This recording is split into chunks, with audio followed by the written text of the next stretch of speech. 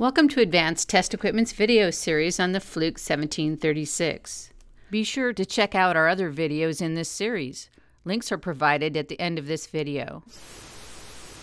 The Fluke 1736 three-phase power logger ships in the Fluke travel bag with an AC adapter unit, USB cable, extension cord, power cord, user manual and safety manual, four iFlex 1500 current probes, USB drive containing Fluke software and manuals, voltage sense leads, banana cables, and four alligator clips.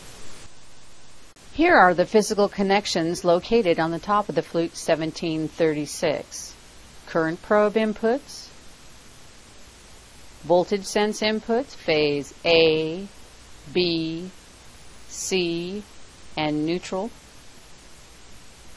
Also, we have the auxiliary sense input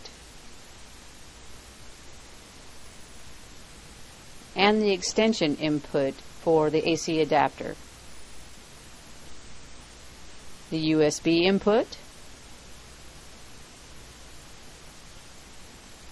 the AC input for charging straight from the wall,